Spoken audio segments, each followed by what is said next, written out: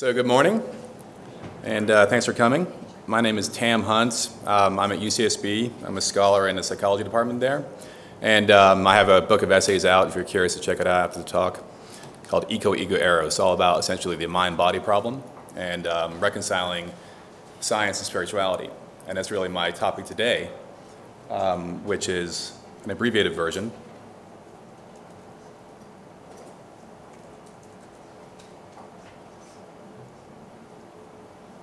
So the title is Cause, Effect, and the Nature of Mind. And what I'm looking at really here is how do we reach a better reconciliation of today's science and our experience of being conscious, awake beings, being human. And I'm curious, I'm taking a cue from Teresa here, a little Q&A in the beginning. What are some ways in which the current materialist paradigm fails to explain human experience? I mean, there's a lot of them, but give me some examples. Sure. Anyone else? Can you repeat the answer? We can't hear it. Uh, he said explanatory gap, kind of the mind-body problem, essentially. Well, there's three that I focus on here, and essentially, um, materialism, for you know the shorthand version of today's scientific paradigm, um, has a hard time explaining um, experience itself. Um, if the world is merely matter and energy moving in space and time, how does awareness, consciousness, crop up in a naturalistic kind of way? That's not simply a miracle that, oh, now it pops up in humans at some point in their history. It's a real kind of, um, like I said, the explanatory gap is very real in that way. Um, we also have difficulty in explaining the flow of time. And the flow of time is, for each of us, very real. Now, now, now, now, now. It's part and parcel of being aware, of being conscious. And in modern physics today, the flow of time is basically denied. It's called an illusion. And to me, um, it's a very real illusion.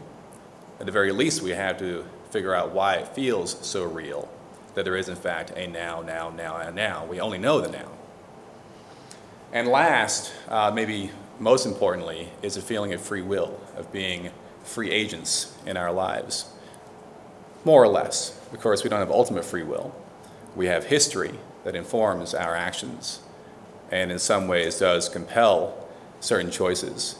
But we certainly feel as though we are free. I move my arm up and down right now. I'm choosing to do that. And again, modern science, the current version of modern science, says that feeling is also an illusion. And I'll explain why here. So it's called cause, effect, in the nature of mind because really what I've been trying to do in my work the last few years is kind of drill down on why modern science has such a hard time explaining these phenomena. And essentially, um, words ultimately are choices and they're pointers, but they help in clarifying certain problems and certain solutions. So here I use cause and effect because I've, I feel essentially matter, energy, mind, free will, nature of time kind of boil down to an inquiry into what is cause and effect. So my version of what that is is something here causes something there. I lift a book up. That's a very simple example of cause and effect. More generally, this universe is nothing but a web of cause and effect, of stuff here causing things here. And again, this may be some kind of illusion, but it certainly is an illusion of things happening here, causing things here. How do you explain that process? And how does it relate to our feeling of being agents in our own lives, of being free agents in our own lives? And um, the current version of um, materialist science says essentially we can reduce these phenomena, a cause and effect, to the microphysical. That essentially the real action, the real work in the universe is being done at the microphysical, the level of atoms. Everything beyond that level is essentially built upon that lower level. And when you get to the point of humans, a fairly high level of reality in terms of the many levels to reality, we feel as though we are free in our lives But in fact, that is completely an illusion because real action, again, is taking place at the level of atoms. So when you go back in that chain of reasoning to the Big Bang, the current worldview, essentially everything was set in motion at the moment of the Big Bang. Literally everything. We are fully determined in every way from that very moment of conception of our current reality. And of course, that very much goes against our feeling as human beings and our feeling of being free agents in our lives. So again, even if there is some level of real illusion going on there, we need to figure out why it's such a compelling illusion.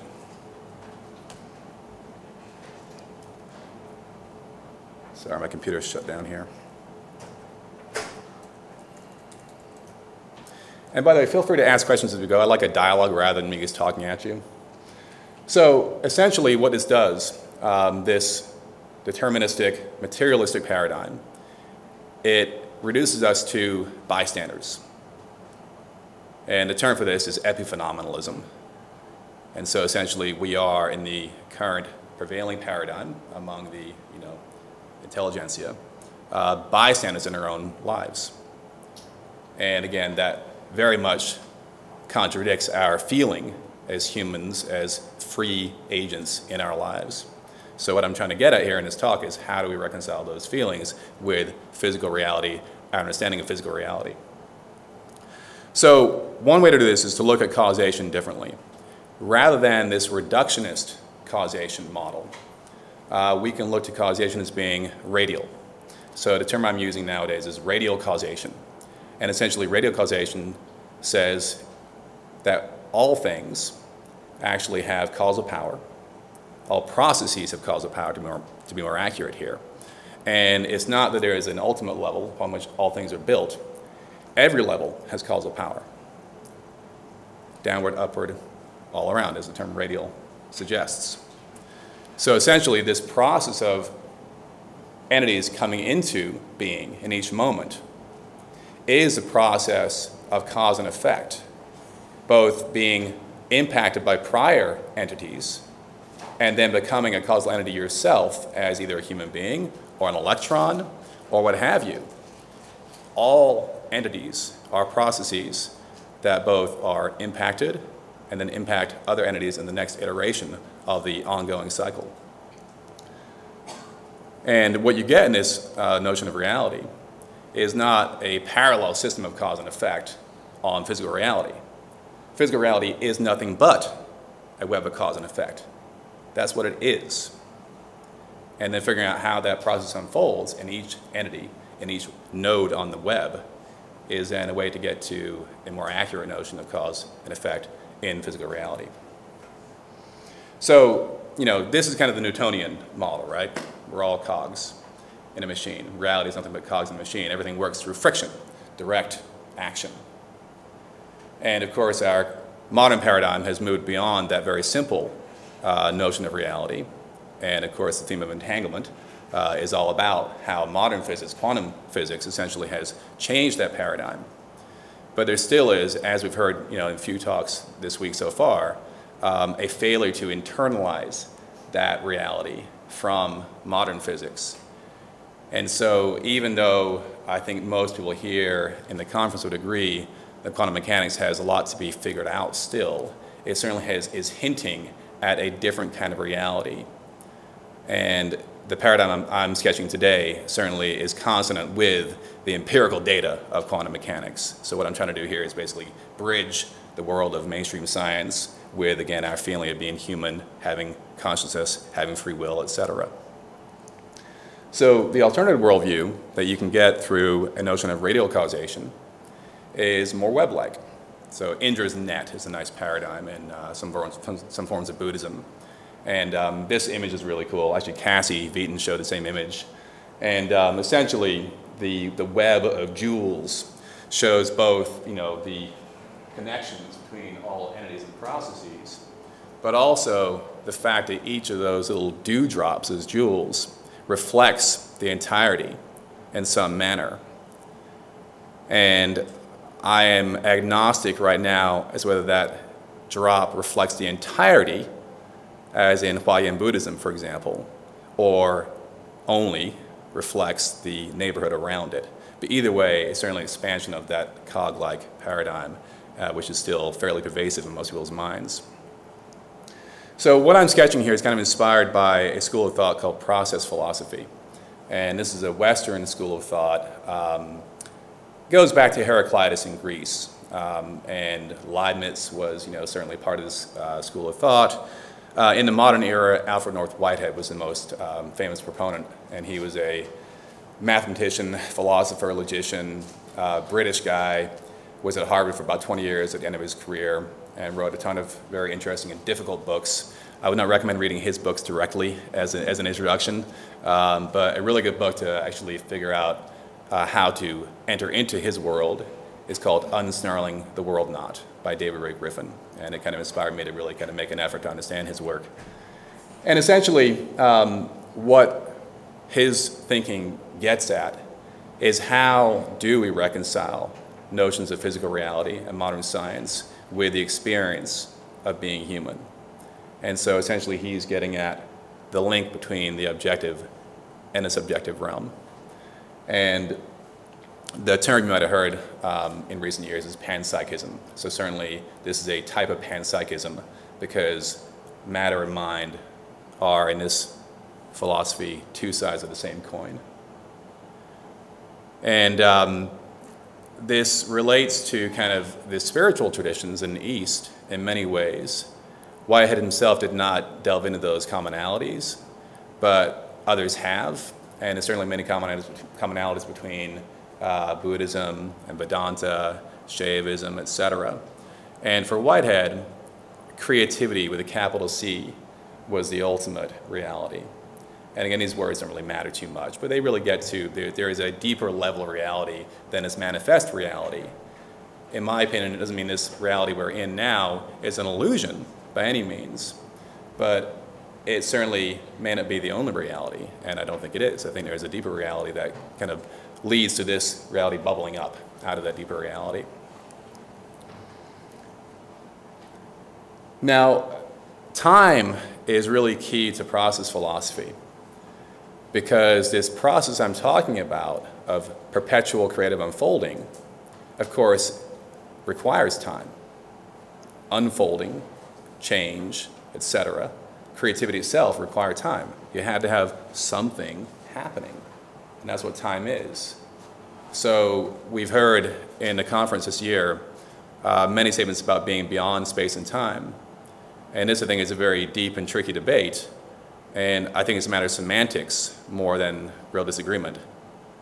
Personally, I think all stuff, all even potentiality, exists in a container of time. But time becomes manifest, becomes apparent only when you have actuality. Because to actually realize this change going on, you have to have stuff. So when you get to a deeper level of reality, of pure creativity, pure potentiality, it is as if there is no time because there is nothing really going on. It's just pure humming beingness bliss. When you get up to higher levels of reality, then time manifests more overtly. So this notion is known as presentism, and certainly I think most people here would, would accept and agree with the idea that we have only the now accessible to us in a very real way. The past is pure memory, the future is pure imagination. The now is here. Now, getting to the idea of free will. So, first, let me take a little poll. Who here feels as though they are free beings? Only three or four hands? Halfway free. Halfway free? One third free? okay, partly free. Okay, so most of we feel partly free. And I would agree, we're not completely free. We have, of course, again, a history. And that history does not compel, but it certainly informs our decisions. And as you get more conscious, of course, you have more room to make free choices. And the idea um, of free will in this notion of reality is that freedom does, in fact, evolve. So going to the microphysical again, all things, including, say, an electron or a photon or what have you, have some freedom, but it's pretty damn minimal. You know, so you look at quantum mechanics, for example, they're statistical laws. It's probability. So those kind of strange occurrences in various classes of the wave function or various outcomes refer to essentially choices, even at that very microphysical level, rather than pure chance. But statistically, it kind of evens out because they are, in fact, very rudimentary uh, free beings. As matter complexifies, particularly in biological beings like ourselves, with four billion years of history right here in our bodies, if not more, then free will complexifies and expands. So freedom evolves in a very real way. and again, this kind of comes out of the idea of radial causation, because if we do subscribe to a notion of reductionist causation, then we are stuck with putting all the action at that basic level. Radial causation says no, the action takes place at every level and it's a, a co creative process, an ongoing co creative process. Sorry about that.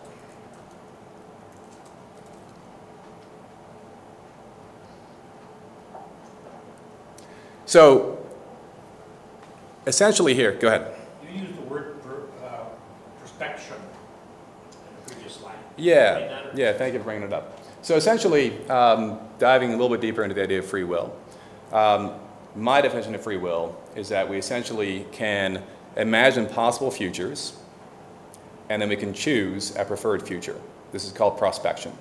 Like problem solving, you have a whole bunch of alternatives, and then you select the preferred one. Exactly, yeah. So of course, in our lives, it's not too often we sit down and think, ah, I could do this, this, this. Well, we, we should. We don't often. We just kind of do it instinctually, typically. But when we do sit down and think about what we really want to do for a big decision, we do think about the choices we have before us, and then we choose one. And again, modern physics says that's an illusion. You're not really choosing because what actually happened uh, was in fact determined literally 14 billion years ago in the Big Bang, which just sounds crazy to me, but that is the prevailing paradigm right now. So the idea of prospection is that we do in fact generate choices uh, in our minds. And of course, as our minds expand, become more complex from the level of an amoeba to human beings, then our free will expands. Um, so essentially, this is kind of the key to what free will means. That's the first part of getting to the solution. Go ahead. As far as free will, if we acknowledge that we are living in living universe, and that we know the behavioral pattern of that, which is Mendelian, and we create that website, that logic, then we are in sync with the living universe. And by thinking and acting, reflecting it back to us, so it will be dynamic relationship that not only we are part of the whole thing, but at the same time, with our imagination and thinking, we are reflecting it back, and we are gaining the freedom at the same time to continue.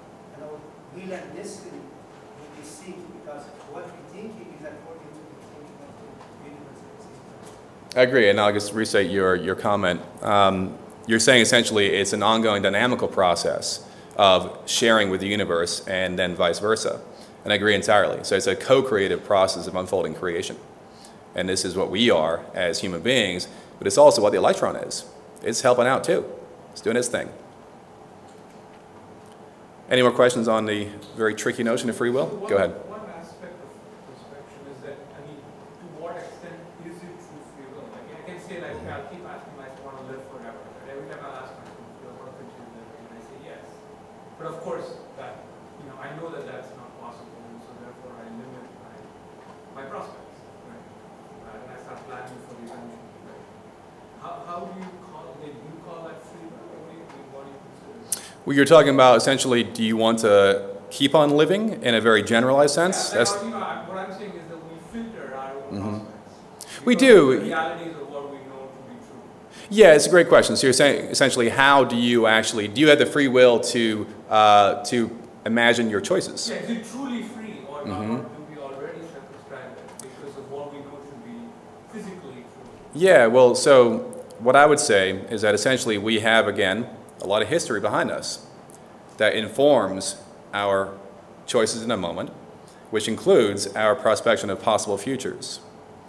And the idea behind this, idea, this radial causation concept is that that process in each entity, whether again it's an electron, a human, a bat, a rat, a cat, what have you, is a combination of basically efficient causation, which is, you know, in the moment, impact, and then final causation, which is essentially the other half of causation, where there is a creative unfolding. And this is kind of a brute fact in this system, but rather than the brute fact of Big Bang causation happening 14 billion years ago, it's an ongoing process in the present in each entity in this vast web of cause and effect. You, you see that as sort of the mind, mind matter, because, you know, there is an aspect, the mind aspect is, is truly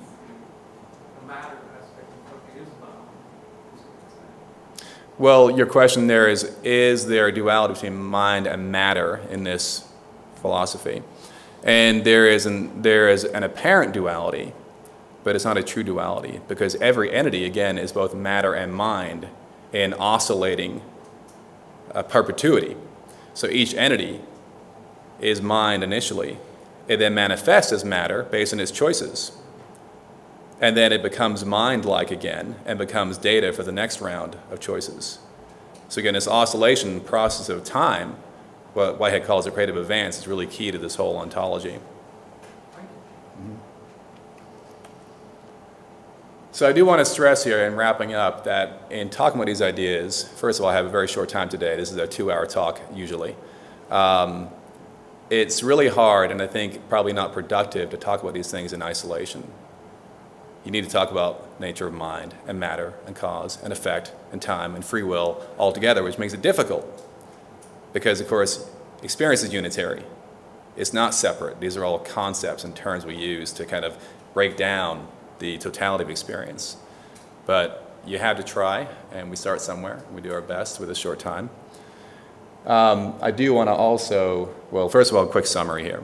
Um, essentially, mind is causal, not epiphenomenal. The universe is nothing but this vast web of cause and effect. Only the now is here. Only the now is real. And each cause, not just what we call, what we call matter typically, but each cause is both objective and subjective. It's objective for other entities outside of that cause. It's subjective for itself. So again, two sides of the same coin, inside, outside. And last, each cause is free to a degree, and as matter slash cause slash mind complexifies, so free will complexifies and expands. And I want to end this nice quote from uh, Whitehead, essentially highlighting the need for humility. Uh, his philosophy in the realm of ontology was what he called a speculative philosophy. And of course, a lot of this is speculation. There is no certainty here. And when we use concepts and terms and words, uh, it can feel like a game at times. But again, the key thing is to actually get to a point where you can actually explain satisfactorily to yourself the totality of your own experience. And when folks tell me I have no free will, I have a reaction to that. And so I think it's helpful to kind of go down this road to figure out, well, how do we resolve those issues? Some reading for you. And I'll wrap it up there. And uh, any final questions? You can pull back the reading. Sure. And I think you can download these after the fact too. Any more questions?